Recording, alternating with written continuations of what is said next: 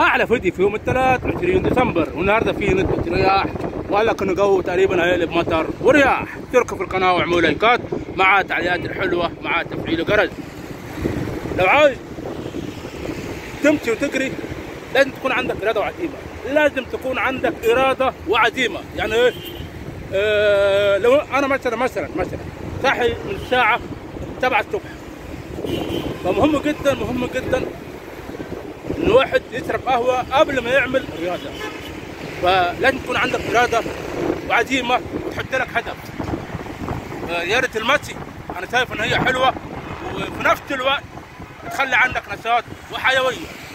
وأحلى يوم مع رياضة المشي